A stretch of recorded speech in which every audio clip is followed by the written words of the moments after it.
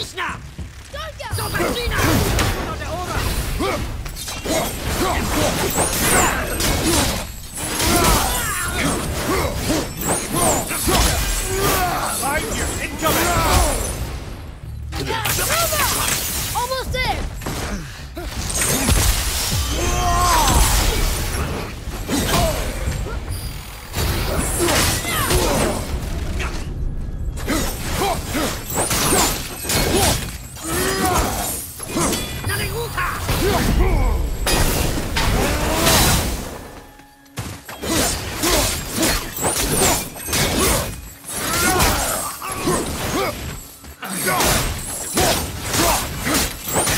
Anything? Like maybe stone?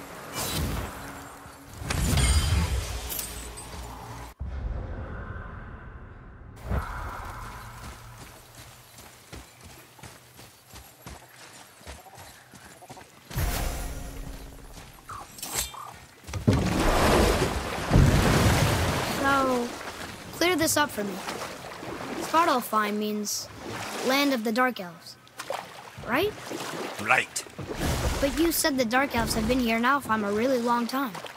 And anyway, aren't dwarves supposed to be from Svartalfheim? They don't look like Dark Elves. Don't you think so? Then you are vastly more perceptive than the Aesir. They're the ones who apparently can't tell the difference.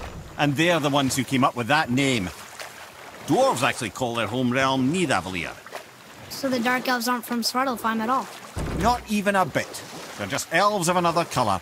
Nobody knows who came first, but they all come from Alfheim. Why do they fight all the time if they're really the same? That is adorable. Huh?